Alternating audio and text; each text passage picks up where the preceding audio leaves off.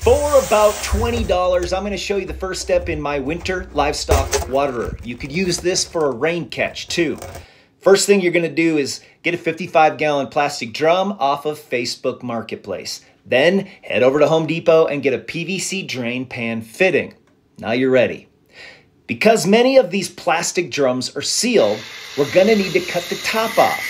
I'm just using a small circular saw and I went a little too high which is fine. It just made the cutting experience a little longer. Then sand it down, vacuum it out.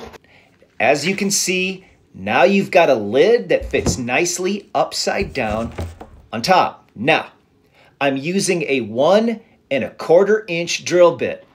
Thread on the fitting, use the rubber gasket on the inside, tighten it up by hand, and then just a little bit tighter with an adjustable wrench. That's it.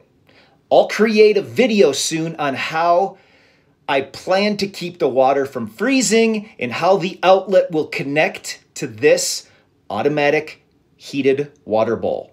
I've done a lot of different water solutions for livestock in the winter. This method is my first time with this idea. Let us know how you keep your livestock water from freezing. Let us know in the comments.